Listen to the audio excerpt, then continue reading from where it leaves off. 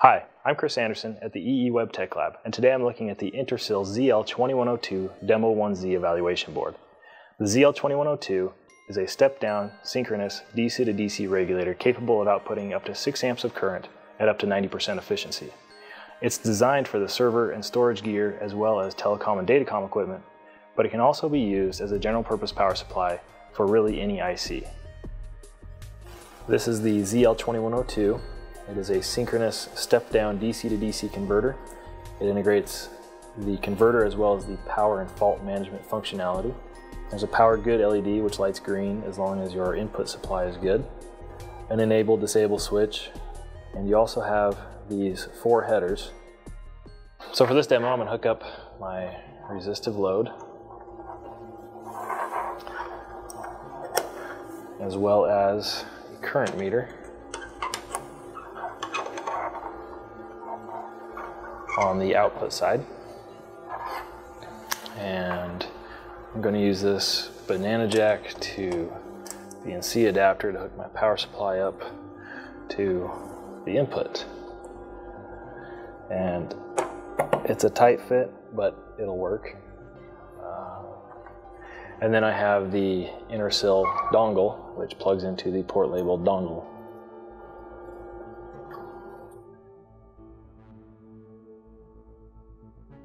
Now I have my demo board hooked up to my power supply and my current meter. My power supply is set to output at 12 volts and limit to 1.5 amps, which I hope we don't hit because that would indicate a problem. I'm going to go ahead and launch the Power Navigator software. And while that loads, the settings for this ZL2102 can all be set using pin strapping. Uh, what the Power Navigator software is going to demonstrate is use of the PMBus. So you'll see it, nothing shows up here. When I turn on the power, I should power the IC, and if I scan again, it should detect it. And there it is. So it's at address 2F. Uh, we're gonna go ahead and start that. And so now you'll see it creates this project where I have uh, an input to my ZL2102, and right now it is labeled as rail 0 and it's running at 3.3 volts. One of the interesting things about these boards is they're all set up to daisy chain. And so if I had multiples, I could plug them all in and this one dongle would recognize all of them as long as they had separate addresses.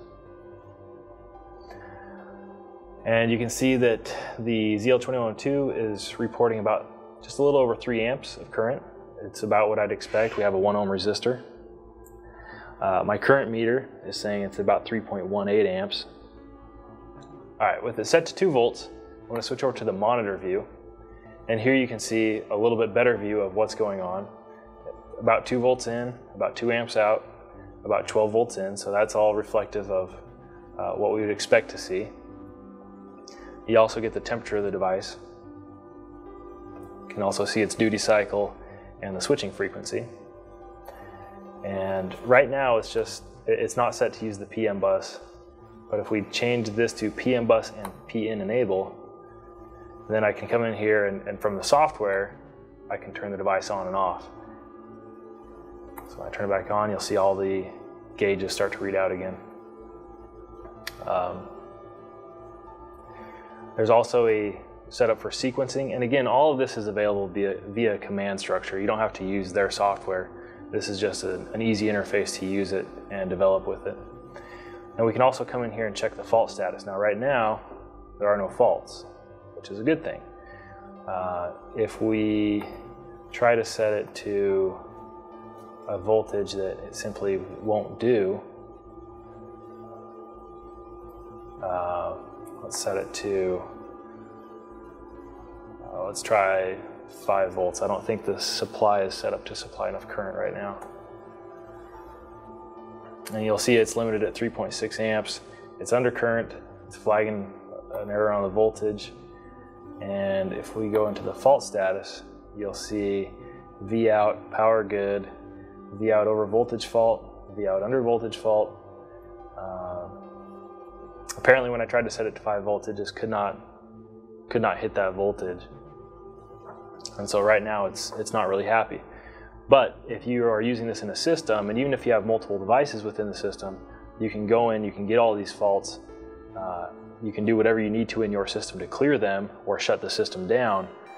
And you can do that on a device by device basis. The ZL2102 Demo 1Z evaluation board is easy to use and easy to configure and comes with great development software to get you started quickly and easily.